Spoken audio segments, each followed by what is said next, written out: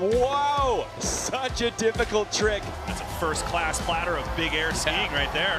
One of the most unique tricks. That was impressive.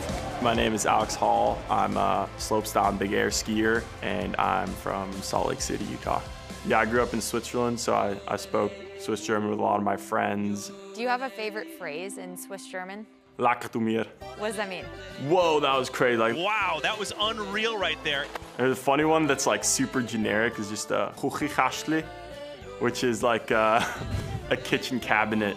People who don't speak Swiss German usually can't say that one. I probably said it pretty poorly to like some of my Swiss friends would be pissed at me right now, but I tried. Does that come in handy for you as a skier? Um, yeah, the, the German's super nice because we have a ton of events in Switzerland and Austria. I'm kind of like the team guide a lot of the time when we're traveling around. It's a little annoying when I'm with the team and I'm like personal translator because I don't get paid extra for that, but it makes being there for a longer amount of time easier, you know? I can go there for a couple months and not just feel like I'm out of the loop the whole time. Oh my goodness.